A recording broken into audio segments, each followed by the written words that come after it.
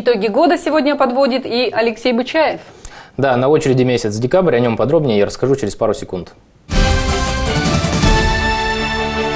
В этом году появился новый праздник. 3 декабря в России начали отмечать День неизвестного солдата. Президент России Владимир Путин подписал соответствующий закон. В этот день по всей России чтят память пропавших без вести солдат. В Губкинском в детской библиотеке по этому поводу состоялась встреча ветеранов войны и старшеклассников, где присутствующим рассказали, почему именно 3 декабря стало Днем неизвестного солдата.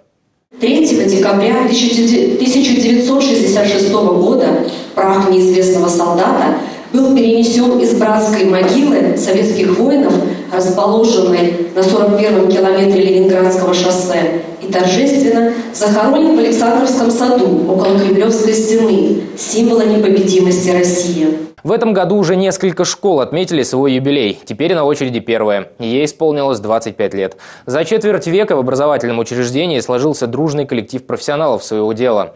Выработан индивидуальный подход к обучению и воспитанию школьников. Для педагогов и учащихся первая школа стала вторым домом.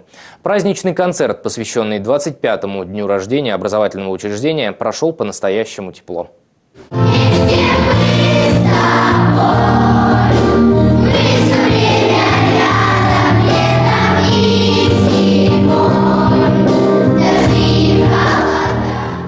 Продолжая школьную тему, нужно сказать о старом корте возле четвертой. Над ним возвели крышу.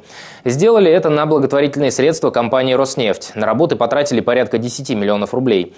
Как только строительство завершилось, на корте провели первый хоккейный матч. Участники – губкинская команда «Пурнефтегаз» и муравленковский «Серварк». В дальнейшем, если лед будет, а он есть уже, да, э, команда будет собираться, тренироваться, я думаю, покажет результат, потому что впереди еще матчей много э, в рамках Ямальской хоккейной лиги.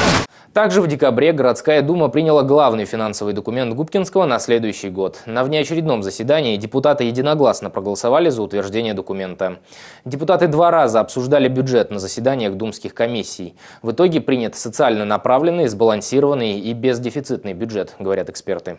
Бюджет, который мы практически на 99% выполняем по 17 муниципальным программам.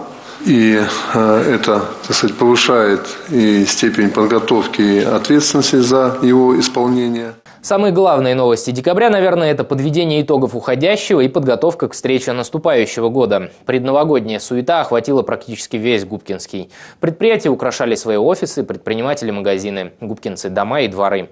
А главную праздничную площадку в этот раз к Новому году готовила пермская компания. Рабочие приступили к заготовке льда в начале месяца. И в конце прошлой недели ледовый городок был торжественно открыт.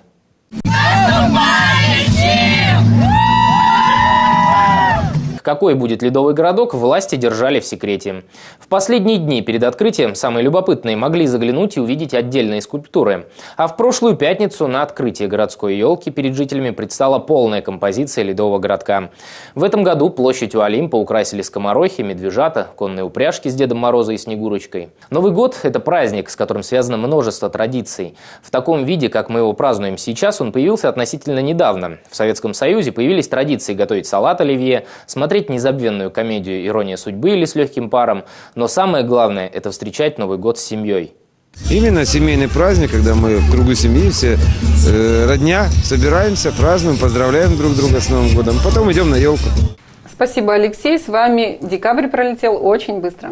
Да и год пролетел всего за час эфирного времени. Если вы еще раз хотите вернуться к памятным датам уходящего года, это можно сделать на сайте vector-tv.ru. В разделе «Новости» ищите рубрику «Календарь» и пролистывайте заново памятные даты уходящего года. До встречи в следующем году.